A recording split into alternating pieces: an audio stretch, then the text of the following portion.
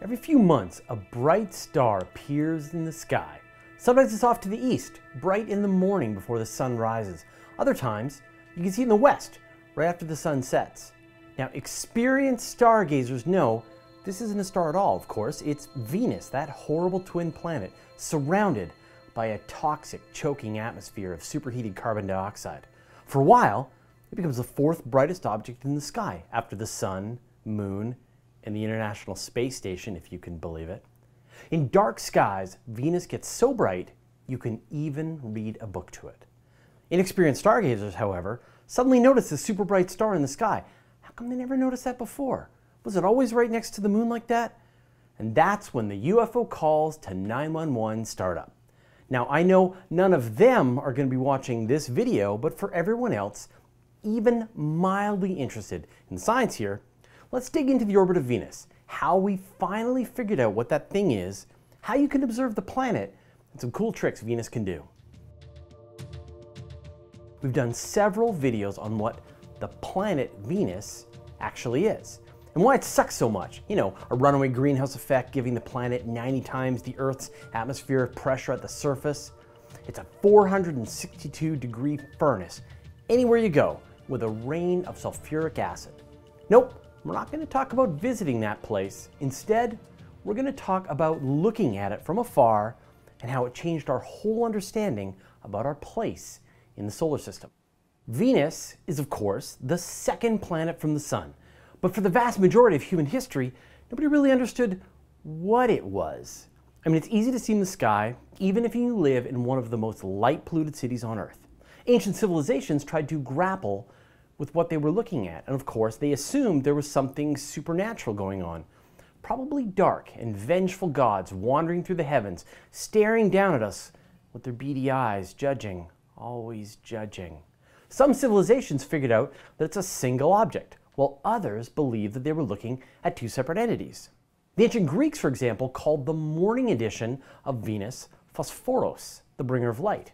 And they called the evening star Hesperos, the uh, star of the evening. And then they realized it was a single object and upgraded it to Aphrodite, the goddess of love. I'm not really sure why. The Romans turned that into Venus, and the name stuck. Now, the ancient astronomers assumed that the Earth was the center of the universe, and all the planets and even the sun and stars revolved around us. But Nicholas Copernicus worked out the true nature of the solar system in the early 16th century. The sun was at the center of the solar system, and all the planets, including Earth, orbited around it. Now, it's a cool story, and it nicely fit the motions of the planets. However, the best evidence came almost a century later when Galileo turned his first crude telescope to Venus and realized that the planet goes through phases just like the moon. In fact, with a small telescope, you can confirm this all for yourself. Each of the planets orbit the sun. Mercury and Venus orbit closer to the sun than Earth than the rest of the planets. And when we observe Venus, we look inwards, down towards the sun.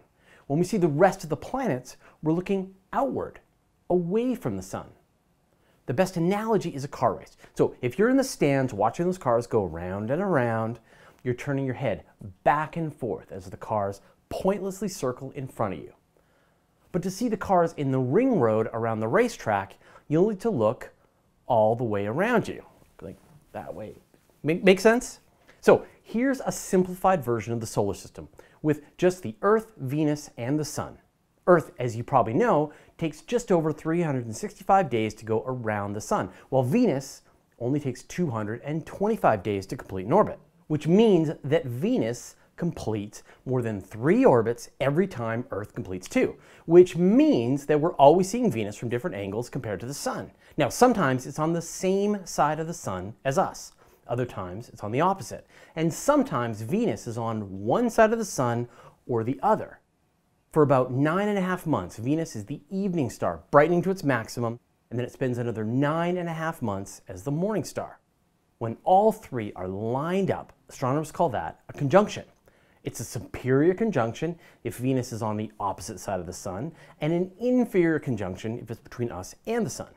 When Venus is on either side, we measure its elongation, eastern or western. Because Venus orbits close to the Sun, the maximum that it can get is 47 degrees elongation. So make a triangle where you point one line at the Sun and another line at Venus. The angle of this triangle can't get any bigger than 47 degrees. And this is why we always see Venus relatively close to the Sun in the sky. There's 360 total degrees that you can look, but Venus never leaves 90 of them. Now, onto the phases. Just like the moon, when Venus is in between us and the sun, then all the light is falling on the far side of Venus. The side facing towards the sun, but facing away from us. Of course, Venus is also hidden by the glare of the sun, which means that we can't really see it. The opposite happens when it's on the other side of the sun. It would be fully illuminated from our perspective. Too bad we can't see it in all that glare. But when Venus is on either side, this is when we can finally see it, and our perspective changes. We're seeing more and more of the planet illuminated and less in shadow. We see phases.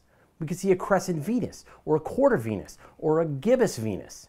And when Venus is almost fully illuminated, it's actually at its dimmest because it's so far away. Then, as it moves higher and higher in the sky, we see less of it illuminated, but more overall surface area so it gets brighter. The point of maximum brightness, when it's blazing brighter than almost any other object in the sky, is when the greatest amount of surface area of Venus is visible to us. And astronomers call this the greatest illuminated extent. Now, Venus is beautiful in the evening sky right now as I'm recording this video, but we won't see it this bright in the evening again until August 2017 and then March 2020. So get out and enjoy it while you can.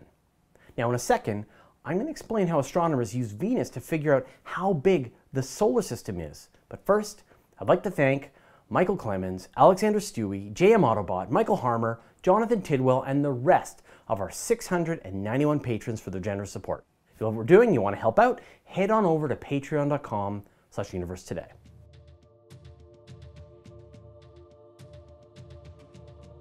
When Venus passes directly in front of the sun, that's a planetary transit.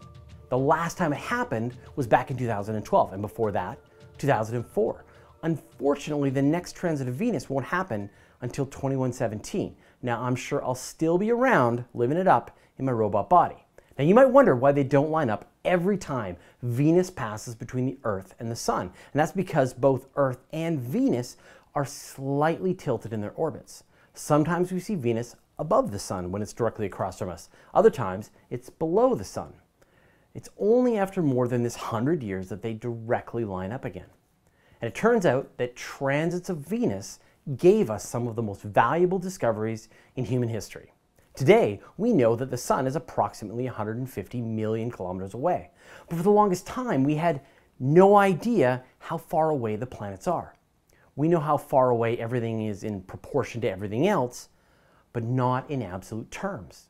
So in 1663, the Scottish mathematician James Gregory calculated that by making very precise measurements of the transits of Venus or Mercury, you could use trigonometry to figure out the actual distance from the Earth to the Sun. The famed astronomer Edmund Halley did even more detailed calculations and suggested places on the Earth to make measurements from. Now, it wasn't until the 1700s that astronomers got organized enough to make worldwide measurements during a transit of Venus.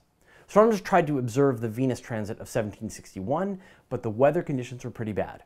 In the 1769 transit, however, astronomers were sent to various corners of the globe in Canada, Norway, South Pacific. Nations fighting each other allowed astronomers safe passage through on ships through the war zone. All of the observers made four observations when Venus was touching the edge of the sun, when it was fully inside, when it had touched the other side, and when it was fully out. By combining all these measurements across the Earth, astronomers calculated that the distance from the Earth to the Sun was 93,726,900 English miles. The most accurate number that we have today is 92,955,000 miles, or about 150 million kilometers. So they were only off by about 1%. Not bad. Once we knew the distance from the Earth to the Sun, we could calculate the distance to the other planets and even to the stars, all thanks to Venus. Venus is one of the most dependable companions that we have in the night sky. Sure, it's a hellish death world, but from our perspective here on Earth, really cool to look at. Don't miss the next opportunity to see Venus with your own eyeballs, and if you can, get your hands on a telescope and see this planet going through its phases. You won't regret it. Now, did you get a chance to see the last transit of Venus back in 2012? Planning to live for the next one? Give me the details of your experience in the comments. Nuclear waste is really bad, and we probably don't want it here on Earth.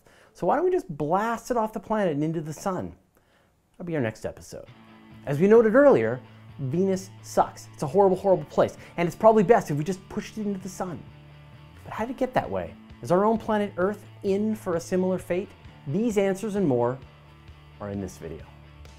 Now, I'm sure I'll still be living in my... Oh.